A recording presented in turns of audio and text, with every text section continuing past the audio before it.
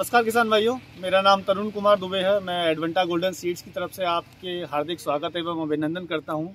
मैं कोरोना काल में ऐसी कामना करता हूँ कि आप सभी लोग अपने घरों पर स्वस्थ होंगे एवं भारत सरकार द्वारा दिए गए दिशा निर्देशों का पूरी तरह से पालन पालन कर रहे होंगे, सोशल डिस्टेंसिंग अपना रहे होंगे, मास्क का यूज़ कर रहे होंगे।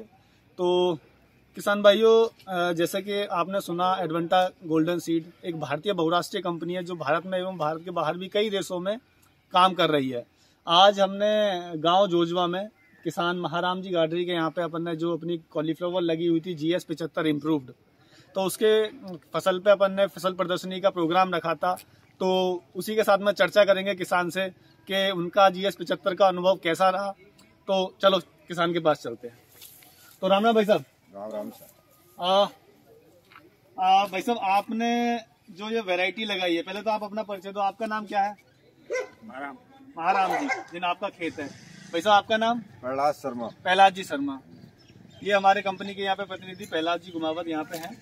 और भाई साहब आपने जो वैरायटी लगाई है जो ये लगाई है कौन सी वैरायटी है ये? जी एस पचहत्तर। जी एस पचहत्तर है।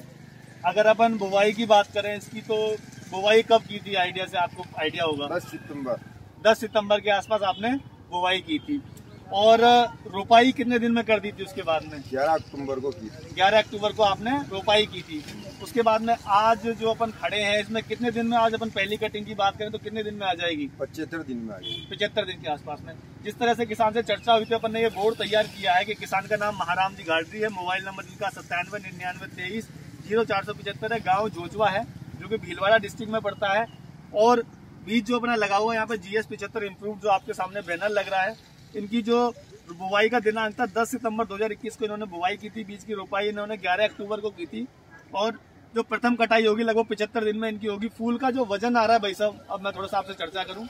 फूल का जो वज़न आ रहा है कितना आ रहा होगा आपके हिसाब से आपके हाथ में? एक से डेढ़ किलो के समथिंग वेट है। डेढ़ किलो की समथिंग वेट है। इसके बाद में बात करूँ मैं फूल का रंग कैसा है आपके हिसाब से कि कितनी कैसी क्वालिटी आ रही है? व्हाइट है बिल्कुल एक बार नज़दीक आके क्लास से अनुरोध करूँगा कि वो फूल दिखाएँ कैसा क्या है? व्हाइट है बिल्कुल ठोस है। ठोस है और वाइट मज़बूत है एकदम। और जो अपन बोलते हैं कंपनी बोलती है कि इसके पत्ते ढके हुए आ रहे हैं तो अपन वो भी खेत में देखेंगे अभी कि कितने पत्ते ढके हुए आ रहे हैं। तो वो अपन ने जो फ़ील्ड में देखा था पत्ते ढके हुए आ रहे हैं इसके? बिल्कुल ढके हुए फूल बिल्कुल ढका हुआ। ठीक है कुल मिला के। और आपको कोई और समस्या लगी गोभी से संबंधित क्या लगता है आपको? गोभी अच्छी है चलने वाली वैरायटी है आपके एरिया में? ये बहुत अच्छी चलनी बहुत बहुत अच्छी तो मैं केला जी से एक बार भाई साहब आपसे भी अनुरोध करूँगा एक बार जो फूल है ये तो आपके कटा हुआ है।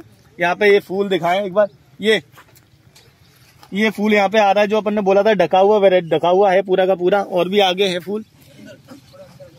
यहाँ पे सर। यहाँ पे। ये बिल्कुल टका हुआ। ये यहाँ पे।